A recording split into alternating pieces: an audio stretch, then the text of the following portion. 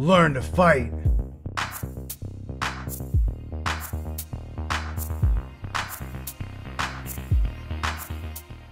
Yo, Jon Fitch here. I got another episode of Learn to Fight for you, and we're going to do a little more uh, education on violence today. We are back in the garage with one of my students, and we're working on uh, forcing the clinch. We're in a situation where he's in a corner, his back's against the wall. He cannot retreat. There's no retreat, no retreat, no surrender. He has to step into the fray and put hands on me. It is, in my opinion, that you are better off forcing clinch, working to dominate the other person, than you are hitting him. A lot of people will argue with me about that, but I'm sorry, you're wrong. You're just flat out wrong. With all the experts and people that I've worked with in the numerous years that I've been involved in violence, you're wrong. First off, uh, you have a legal aspect to take into consideration. If I'm walking up on you, heated, using words, and I get into your space and you hit me, that's not exactly legally justified. I didn't really do anything illegal. I, I, didn't throw anything at you. I didn't hit you with anything. I didn't spit on you. I'm just raising my voice or I'm aggressively walking towards you. So if you hit me, you're probably, there's a good chance that you're the one that's going to get in trouble. And yeah, I understand the argument of it's better to be uh, tried by 12 than carried by 6. I get it.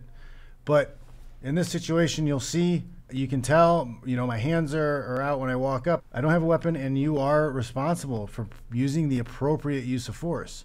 If you hit somebody, knock them out, they fall, hit their head, they die, or if uh, you just cause severe bleeding and damage to them, like you're probably getting sued, and and you're probably getting charged with something. And I believe that uh, you can easily, peacefully resolve the situation without escalating to too much uh, force, preventing you from legal uh, ramifications and, and, you know, getting sued, hurting yourself, killing somebody, breaking your hand. A lot of bad things can happen. There are situations where, yes, you're definitely going to have to strike, and it's something that you should learn, yes. But you have to know when to use it. And in this situation, you'll see kind of what I'm doing. Uh, we're kind of pretending that maybe I'm walking up to him in the grocery store, uh, on the plane, in the parking lot, you know, somewhere where it's close, confined, close quarters and he's got to make something happen. Otherwise, uh, bad things could happen to him. I don't suggest at all that you just sit around and wait to find out. Wait to see if he's going to hit you. If he steps within an arm's reach and a step, he's he's too close. Put hands on him. Put hands on him. Neutralize him. Uh, right here, all we're going to do is he's going to work to uh, the back from from whatever position he gets into with the clinch, and he's going to use a uh, uh, a mat return that's very non-athletic. It doesn't use a lot of energy. He's going to keep his his body lock control of me, and he's going to use his knee to to grate down the, my thigh. Right? He's going to grate his knee into the nerve tissue in my thigh, and he's going to sag and be heavy, and it's going to bring me down to my knees. It's a very very uh, technical, easy way to get somebody to the ground. Uh, and in this situation, we want to get the guy to the ground. Not not every time you want to. Sometimes you want to push him into the wall, uh, hit him in the wall. You may want to put him into the ground and then and then get up and run away from him real fast. That's fine too. Uh, we're not going to worry about what to do once we get to the ground. We're just focusing on this little specific technique. I got a couple little videos to show you. He does the first one here pretty well, and then I'm to show you another one where he kind of makes a mistake and we have to correct it. Okay, so let's get into this, and you can kind of see what we're doing. Right, once I get to a certain point, there's no more backing up. There's no more hesitations. He just has to pull the trigger and force the clinch. Right? Let's check this out and see what happens. Problem, punk. Huh? Swing, he's in, he forces clinch, gets that little duck under position. Pretty good. Yeah, so we'll watch this one more time. Maybe I'll stop it here a couple times to point some things out. I, I get close. I'm already I'm already too close. I stepped in close. I'm I'm taking a punch. If he waits with his hands down or he takes a step back, there's a good chance that that punch lands. We don't we don't want that to happen. We don't want that to happen. He covers his head. He protects his dome. He makes sure that if I do hit him, it's not going to do much damage, and he closes the distance. Closing the distance smothers those strikes and makes them much less effective. Then he gets hands on me, right? And he gets hands on me. He begins to work to get to a dominant position, the back. Right there, he's got the underhook right to the back. Pretty, pretty smooth, pretty smooth transition for him. Especially the guy's trying to throw wild, elbows come up, it gets a lot easier to make that transition. He gets to the back, he locks his hands. Now he's going to attempt to take his left knee and drive it into my left thigh. It doesn't feel good. You got a lot of nerve bundles in there. He's also going to be heavy on that leg, making it hard for me to step with that leg and, and eventually tripping me. It's a very low energy expenditure on his part. There's the knee. You can see the knee and the thigh right in here. He's being heavy. You know, I'm I'm two 220, 225 in this video. He's 175, 180 pounds in this video, and he's able to put enough force and pressure uh, and wait on me to get me to the ground. Boom, on the ground. So you see there, pretty effective. Uh, I got too close. I was getting in his face. I was making threatening gestures. Uh, I crossed that barrier of safety for him, that, that arm's length and a step. I started to throw a punch. He had already started moving in, though. He didn't wait for the punch to come. He, he saw that I had passed that barrier, that boundary of his, that I was too close, but hands on. I went hands on, and then I continued trying to throw punches, trying to move, and he used that underhook to throw me by, get to the back. Now he's got the back, he's able to start to look to put me to the ground. In some instances, he may not have to take me to the ground at all. It may be enough to get that back control, put him in the wall, talk him down. You can de escalate from there. Maybe hold him there until police or security or somebody comes. I know everybody wants to be John Wick and everybody wants to be the movie star and suplex the guy and punt him because you don't you don't aggressively move towards me, I'll kill you. Or, you know, oh, I'll just shoot him. Yeah, okay somebody's that close to you and you don't have your gun in your hand already, you're telling me you're gonna you're gonna pull it. It takes me one step to put hands on you and hit you. You're gonna be able to pull your gun in that fast of a time. I, I think that's pretty unlikely. You're gonna have to hand fight, create space, move away, and then you're gonna be able to draw your weapon. I haven't seen I have never seen somebody from that distance be able to access their weapon and, and get a round off. It, it's just too close. You're too close, it's too fast. You're gonna have a hard time doing that. So you're going to have to learn some level of hand fighting if if uh, things go this way. You know, like things can happen. People pop up on you. You're not always 100% in the moment. If somebody gets within a, this distance, you're gonna have a hard time accessing your weapon. You're gonna have a hard time accessing your knife. You're gonna have a hard time accessing your, your pepper spray, your gel your gel spray. You got to know a little bit of something. You got to be able to take control of the situation, take control of the distance, and use that to either put them on the ground, put them in the wall, or create space and get away, and then access your force amplifiers. Let's check out another one. He kind of makes a mistake here. He makes a little bit of a mistake and I correct him. I'm, I'm pointing at him. I'm trying to point and push and, and touch his chest. I'm trying to do one of those into his chest. That's not a, that's not a too uncommon of a thing to, to poke somebody in the chest. He makes the mistake by trying to like grab or knock the hand away. That's too uh, specific of a target because you can you can miss a little target like that. We want broad. We don't want to miss. We don't want to make a mistake. We want a shotgun effect. We don't want a sniper because it's too easy to miss with the sniper. We want the shotgun. We want to make sure we hit it. So uh, I'll, I'll you'll see him do it wrong. I'll stop him and then we'll I'll correct him and then you'll see him do it the right way. We want the second the guy's too close, hands come up, guard comes up. Uh, you protect your dome, you force a clinch, and then you go to work. Uh, we're going to do the same thing. He's going to work to the back. He's going to work to put me on the ground. Let's uh, let's watch. All right. You see right there, I went to poke him in the chest, and he he did one of these. I, I don't like minimizing and just going for that one target, trying to grab that one thing because you can miss. Guys can fake. Who knows? We don't know the level of ability of that guy. I can go to poke you in the chest and I see your hands move. I can come over the top and hit you. Or I go to poke you in the chest and you go to grab my hands and I hit you with my other hand we don't want to open ourselves up.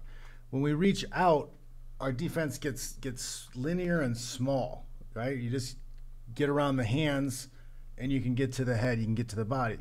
If I if I keep the forearms out, if I keep that frame up, you have a much larger target to get around, right? It's not impenetrable, but it's a lot harder to get through and around than it is if your arms are out Frankenstein.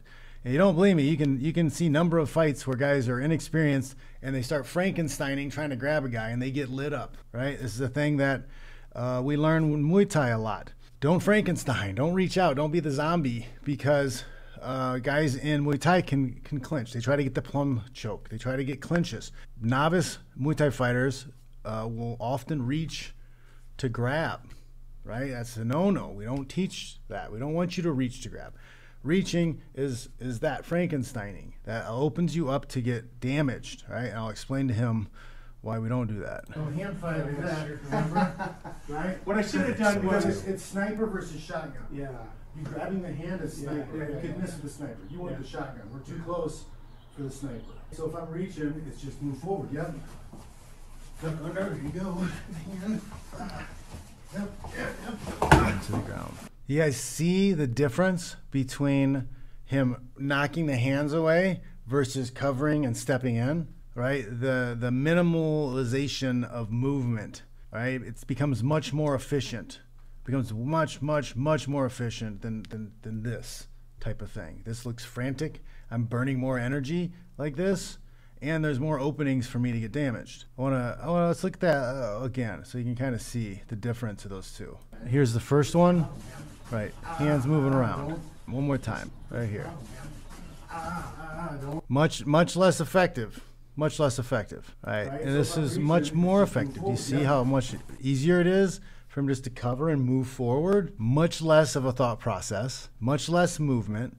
And from an engineering point of view, I learned this from my dad a long, long time ago. The more moving parts something have, the more chances you have of catastrophic breakdown. Well, there's a lot of moving parts here, trying to grab specific things. This is general.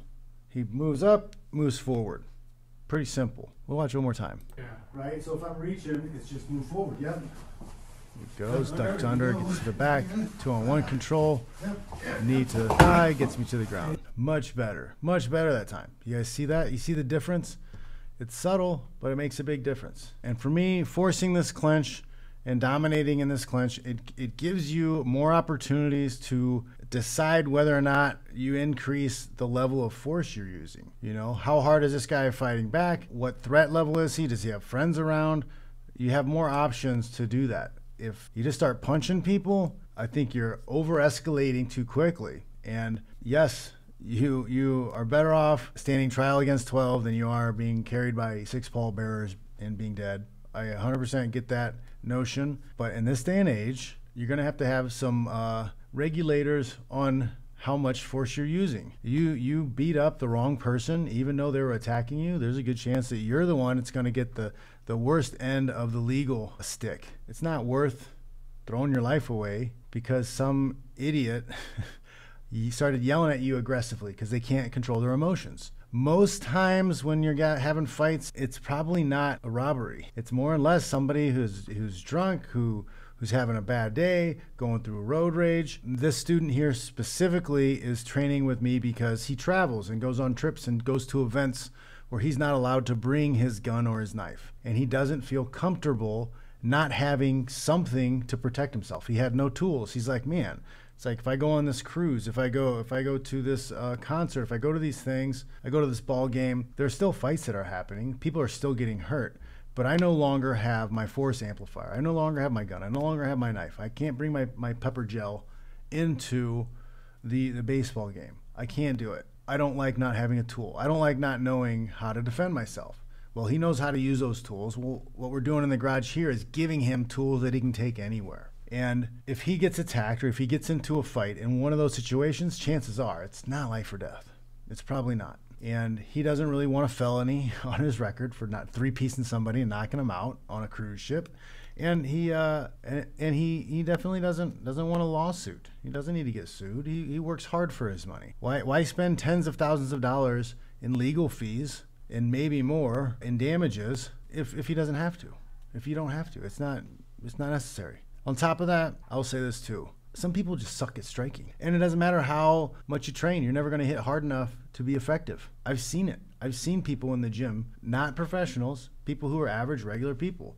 They can learn all the combinations, they can learn how to move the head and all that stuff, but they just do not have what it takes to do damage in those situations. But I've seen those same people learn some grappling and be able to make the fight hard enough to deter other people from continuing the attack. So there you have it. A simple way to deal with somebody getting in your face. I don't let them enter that space. If they are arm's length and one step close to you, that's it. That's the boundary. If they get inside of that, get away. Get away. You can't get away. You can't flee. You can't circle out. You're, you're pinned in a corner, like my student was here. You've got to force clinch all the way in or all the way out. You cannot hang out in the middle. If you hang out in the middle, there's a good chance you're going to get hurt bad. You're going to get a felony. You're going to get a civil suit. Bad things happen there. It's just not. It's just not worth. Not worth it. Not worth fist fighting out in the in the public, out in the wild. If you really want to do that, you really want to test your mettle, you really want to show what kind of a man you are, go to a gym, train with professionals, do some sparring, then do some smokers, then try some amateur fights, then maybe go professional. Do that. If you're really a tough guy, you really think you're awesome and tough at fighting, you're such a badass, do that. Go go do it for real. There's plenty of places where you can find bare knuckle fights, MMA fights, Muay Thai fights. Go for it. go for it. Otherwise, live a happy, peaceful life. Live a happy, peaceful life. Don't mess with people. Don't fight in public. The the king of the streets is the guy who avoided the most street fights. That's that's the truth, man. Thanks for watching, guys. I appreciate you. Make sure you like, share, subscribe. I got more videos coming down the pipe. Go down to the links below in the description. Check out my self-defense courses. Check out my strength and conditioning programs. I got a lot of other stuff on uh, the Gumroads for you to check out. Seminars and things coming coming down the line this summer. Reach out if you guys would like to have me come and teach. I uh, like to travel. Will travel for uh, for food and money and good times. I like sharing the dark arts with people. Uh, my my love and fascination with violence and and what works best is is king. I don't care what's popular. I don't care what the what's getting the most likes and views. I could show all kinds of fancy spin around upside down techniques and tell you that this is the greatest way to defend yourself. But eh, you're going to get hurt. I get a lot of money and likes, but I don't care. I want to actually help people. I'm a purist. I want to know what is the best technique. And if you can show me something better, I will change my position. I will. I've done it a numerous amount of times before. For instance, I used to be all about position, right? Get to the position, pin, and then work for the submission. Later on, I discovered that momentum was the best thing to do. Maintain momentum and catch people with the submissions in transition. You got to adapt. You got to adapt to what works. That's what I do. All right. I'm uh, explaining to you guys the things that I have seen work over and over again, not just in uh, training for professional fighting, but I've had combatives experience. I've trained with police, I've trained with military, I've trained with experts who train those people. I have come to the conclusions I've come to through experience, not just making shit up. All right. Thanks for watching, guys. I'll check you later.